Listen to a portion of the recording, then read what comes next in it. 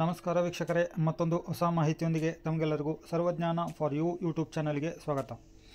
ಈ ವಿಡಿಯೋದಲ್ಲಿ ತಿಳಿಸ್ಕೊಡ್ತಾ ಇರೋ ಮಾಹಿತಿ ಏನು ಅಂತಂದರೆ, ಸಮಾಜ ಕಲ್ಯಾಣ ಇಲಾಖೆಯಿಂದ ಪ್ರೋತ್ಸಾಹ ಧನವನ್ನು ಕೊಡ್ತಾ ಇದ್ದಾರೆ.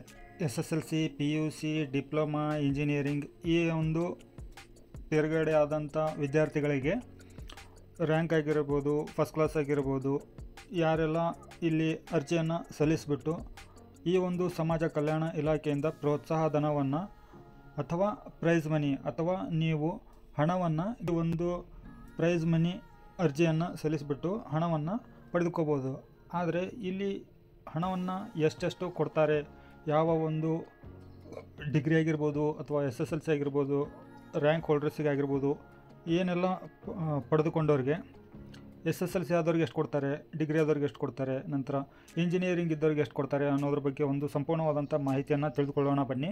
ವಿಡಿಯೋನ ಶುರು ಮಾಡೋಕ್ಕೂ ಮುನ್ನ ತಮಗೆ ಒಂದು ಸಣ್ಣ ರಿಕ್ವೆಸ್ಟು ಚಾನಲ್ಗೆ ಯಾರೆಲ್ಲ ಹೊಸಬರು ಇದ್ದೀರೋ, ಮೊದಲ ಬಾರಿ ನನ್ನ ಚಾನಲ್ನ ವಿಡಿಯೋನ ನೋಡ್ತಾ ಇದ್ದೀರೋ, ಅವರೆಲ್ಲರಿಗೂ ಒಂದು ಸಣ್ಣ ರಿಕ್ವೆಸ್ಟು ಚಾನಲ್ಗೆ ಸಬ್ಸ್ಕ್ರೈಬ್ ಮಾಡ್ಕೊಳ್ಳಿ, ಆದಷ್ಟು ಎಲ್ಲ ವಿಡಿಯೋಗಳ ಮಾಹಿತಿ ನಿಮಗೆ ಬರ್ತಾ ಇರುತ್ತೆ. ಸಮಾಜ ಕಲ್ಯಾಣ ಇಲಾಖೆಯಿಂದ ಕರ್ನಾಟಕ ಸರ್ಕಾರದಲ್ಲಿ ಈ ಒಂದು ಪ್ರೈಸ್ ಮನಿ ಅನ್ನೋ ಒಂದು ಅರ್ಜಿಗೆ ನೀವು ಸಲ್ಲಿಸಬೇಕು ಅಂತಂದರೆ, ಮೊದಲನೇದಾಗಿ ಇಲ್ಲಿ ಮಾಹಿತಿಯನ್ನು ತಿಳ್ಕೊಳ್ಳಿ. ಇಲ್ಲಿ ಮೂಮೆಂಟ್ ಆಗ್ತಾ ಇದೆ ನೋಡಿ ಒಂದು ಲೈನು. ಮೆಟ್ರಿಕ್ ನಂತರದ ವಿದ್ಯಾರ್ಥಿಗಳು ಆನ್ಲೈನ್ನಲ್ಲಿ ಅರ್ಜಿಗಳನ್ನು ಸಲ್ಲಿಸಲು ಕೊನೆಯ ದಿನಾಂಕ, ಅರ್ಜಿ ಸಲ್ಲಿಸಲು ಕೊನೆಯ ದಿನಾಂಕವನ್ನು ವಿಸ್ತರಿಸಲಾಗುವುದಿಲ್ಲ. ಇಲ್ಲಿ ನೋಡಿ, ನಿಮಗೆ ಮೇನ್ಲಿ ಇರೋದು ಅದೇ ಇಂಪಾರ್ಟೆಂಟು ಸೊ ಇಲ್ಲಿ ಯಾವುದೇ ಥರ ಈ ಒಂದು ಅರ್ಜಿಯನ್ನು ಸಲ್ಲಿಸಬೇಕಂತಂದರೆ ಕೊನೆಯ ದಿನಾಂಕ ಎಂಟನೇ ತಾರೀಕಿದೆ ಇದೇ ತಿಂಗಳು. ಸೊ ಹಾಗಾಗಿ ಈ ಒಂದು ಪ್ರೈಸ್ ಮನಿಗೆ ಅರ್ಜಿಯನ್ನು ಸಲ್ಲಿಸಬೇಕಂತಂದರೆ ಇಲ್ಲಿ ಯಾವುದೇ ಥರ ಕೊನೆಯ ದಿನಾಂಕವನ್ನು ವಿಸ್ತರಿಸಲಾಗೋದಿಲ್ಲ. ಸೊ ಅದಕ್ಕೂ ಮೊದಲು ನೀವು ಈ ಒಂದು ಪ್ರೈಸ್ ಮನಿಗೆ ಅರ್ಜಿಯನ್ನು ಸಲ್ಲಿಸಬೇಕು.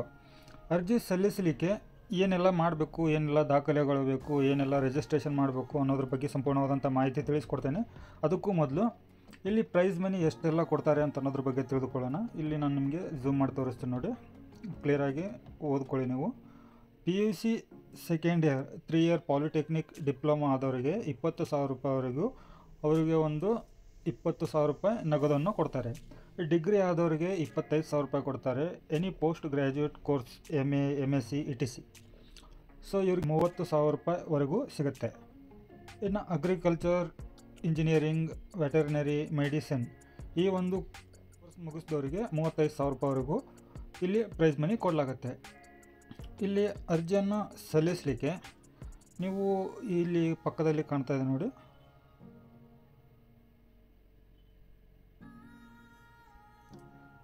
ಎಸ್ ಸಿ ಎಸ್ ಟಿ ಆದರೆ ಇಲ್ಲಿ ಹೋಗಿ ವಿಸಿಟ್ ಮಾಡಬೇಕಾಗತ್ತೆ. ನೀವೇನಾದರೂ ಅರ್ಜಿಯನ್ನು ಸಲ್ಲಿಸಿದರೆ ಅಪ್ಲಿಕೇಶನ್ನ ರೀಪ್ರಿಂಟ್ ತೊಗೋಬೋದು ಇಲ್ಲಿ ನೀವು ಅರ್ಜಿಯಲ್ಲಿ ಏನಾದರೂ ತಪ್ಪು ಮಾಡಿದರೆ ಅಥವಾ ತಿದ್ದುಪಡಿ ಮಾಡಬೇಕು ಅಂತಂದರೆ ಈ ಒಂದು ಲಿಂಕನ್ನು ನೀವು ಕ್ಲಿಕ್ ಮಾಡ್ಬೋದು. ಇಲ್ಲಿ ಕಾಲೇಜ್ ಲಿಸ್ಟ್ಗಳಿರುತ್ತೆ. ನೀವು ಅರ್ಜಿ ಸಲ್ಲಿಸಿದರೆ ಅರ್ಜಿ ಸ್ಥಿತಿಯನ್ನು ನೀವು ಇಲ್ಲಿ ತಿಳ್ಕೊಬೋದು. ಅರ್ಜಿ ಎಷ್ಟೆಲ್ಲ ಅಂಕಿಅಂಶಗಳನ್ನು ಪಡೆದಿದೆ ಅಂತ ಅನ್ನೋದ್ರ ಬಗ್ಗೆ ಕೊನೆಯದಾಗಿ ನೀವು ಇಲ್ಲಿ ತಿಳ್ಕೊಬೋದು. ಸೊ ಇದಕ್ಕೂ ಮೊದಲು ನೀವು ಏನು ಮಾಡಬೇಕು ಅಂತಂದರೆ, ಅರ್ಜಿಯನ್ನು ಸಲ್ಲಿಸಲಿಕ್ಕೆ ಎಲ್ಲ ಡಾಕ್ಯುಮೆಂಟ್ಗಳನ್ನು ರೆಡಿ ಮಾಡ್ಕೋಬೇಕಾಗತ್ತೆ. ಆ ಎಲ್ಲ ಡಾಕ್ಯುಮೆಂಟ್ಗಳು ಯಾವುದಂತ ನಾನು ನಿಮಗೆ ಇಲ್ಲಿ ತೋರಿಸ್ಕೊಡ್ತೇನೆ. Documents required to apply for prize money scholarship two thousand twenty four ಅಂತ ಇದೆ. ಇಲ್ಲಿ ಅರ್ಜಿಯನ್ನು ಸಲ್ಲಿಸಲಿಕ್ಕೆ ಕ್ಯಾಸ್ಟ್ ಇನ್ಕಮ್ ಸರ್ಟಿಫಿಕೇಟ್ ಬೇಕಾಗುತ್ತೆ S S L C tenth marks card ಬೇಕಾಗುತ್ತೆ ಸೆಕೆಂಡ್ ಪಿ ಯು ಸಿ ಅಥವಾ ಡಿಪ್ಲೊಮಾ ಮಾರ್ಕ್ಸ್ ಕಾರ್ಡ್ ಬೇಕಾಗುತ್ತೆ ಡಿಗ್ರಿ ಮಾರ್ಕ್ಸ್ ಕಾರ್ಡ್ ಬೇಕಾಗುತ್ತೆ, ಎಲ್ಲ ಸೆಮೆಸ್ಟ್ರಿದು ಆಧಾರ್ ಕಾರ್ಡು ಬ್ಯಾಂಕ್ ಪಾಸ್ಬುಕ್ಕು ಒಂದು ಪಾಸ್ಪೋರ್ಟ್ ಸೈಜ್ ಫೋಟೋ ಬೇಕಾಗುತ್ತೆ ಜೊತೆಗೆ. ಆಧಾರ್ ಕಾರ್ಡಿಗೆ ಲಿಂಕ್ ಇರುವಂಥ ಒಂದು ರಿಜಿಸ್ಟ್ರೇಷನ್ ಮೊಬೈಲ್ ನಂಬರ್ ಬೇಕಾಗುತ್ತೆ. ಈ ಎಲ್ಲ ದಾಖಲೆಗಳನ್ನು ನೀವು ಮೊದಲು ರೆಡಿ ಮಾಡಿ ಇಟ್ಕೋಬೇಕಾಗತ್ತೆ. ಈ ಒಂದು ಪ್ರೈಸ್ ಮನಿ ಅನ್ನೋ ಒಂದು ಸ್ಕಾಲರ್ಶಿಪ್ಪಿಗೆ ಅರ್ಜಿಯನ್ನು ಸಲ್ಲಿಸಲಿಕ್ಕೆ ಅರ್ಜಿಯನ್ನು ಸಲ್ಲಿಸೋದು ಎಲ್ಲಿ ಅಂತೇಳಿ ಅನ್ನೋ ಒಂದು ಕ್ವಶನ್ನು ನಿಮಗಿತ್ತಂದರೆ, ಇಲ್ಲಿ ನೋಡಿ department of social welfare Karnataka ಅಂತ ಇದೆ. ಈ ಒಂದು ವೆಬ್ಸೈಟಿಗೆ ನೀವು ಬರಬೇಕಾಗತ್ತೆ.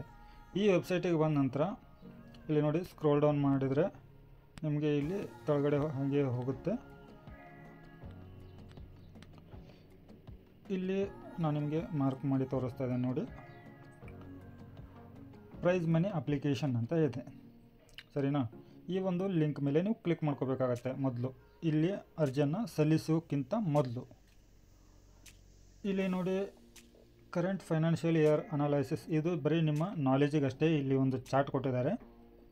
ಸಿಂಪಲ್ ಆಗಿ ಇದ್ರ ಬಗ್ಗೆ ನಿಮಗೆ ತಿಳಿಸ್ಕೊಡ್ಬೇಕಂತಂದರೆ, ಇಲ್ಲಿ ಮೇಲೆ ಇಂಡಿಕೇಶನ್ ಮಾಡಿರೋವಂಥ ಕಲರ್ಸ್ಗಳೇನಿದಾವಲ್ಲ ಇಲ್ಲಿ ಕಲರ್ಸ್ ಕಾಣ್ತಾ ಇದಾವಲ್ಲ ಅವು ನಿಮ್ಮ ಅರ್ಜಿಯ ಸ್ಟೇಟಸ್ಗಳನ್ನು ತಿಳಿಸ್ತಾ ಇರುತ್ತೆ.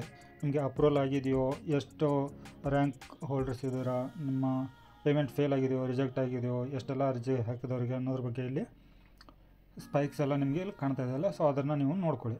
ನಂತರ ಅರ್ಜಿಯನ್ನು ಸಲ್ಲಿಸಲಿಕ್ಕೆ ಮೊದಲು ನೀವು ರಿಜಿಸ್ಟ್ರೇಷನ್ ಮಾಡ್ಕೋಬೇಕಾಗತ್ತೆ. ರಿಜಿಸ್ಟರ್ ಮಾಡಬೇಕಂತಂದರೆ ಇಲ್ಲಿ ರಿಜಿಸ್ಟರ್ ಆರ್ ಅಪ್ಲೈ ಅಂತ ಇದೆ ನೋಡಿ, ಅದ್ರ ಮೇಲೆ ಕ್ಲಿಕ್ ಮಾಡ್ಕೊಳ್ಳಿ.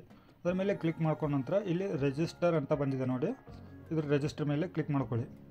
ಇದರ ನಂತರ ನೀವು ಇಲ್ಲಿ ಸ್ಕೀಮ್ ಮೇಲೆ ಕ್ಲಿಕ್ ಮಾಡಿದರೆ, ಇಲ್ಲಿ ನೀವು ಎಸ್ ಎಸ್ ಎಲ್ ಸಿ ಮೇಲೆ ಹಾಕ್ತಾಯಿದ್ದೀರಾ ಪೋಸ್ಟ್ ಮೆಟ್ರಿಕ್ ಮೇಲೆ ಹಾಕ್ತಾಯಿದ್ದೀರಾ ಅನ್ನೋದನ್ನು ನೀವು ಸೆಲೆಕ್ಟ್ ಮಾಡ್ಕೊಳ್ಳಿ. ಇದರ ನಂತರ ನಿಮ್ಮ ಆಧಾರ್ ವ್ಯಾಲಿಡೇಷನ್ ಮಾಡಬೇಕಾಗತ್ತೆ ಇಲ್ಲಿ. ಈ ಕೆ ವೈ ಸಿ ಸರ್ವಿಸ್ ಇದು.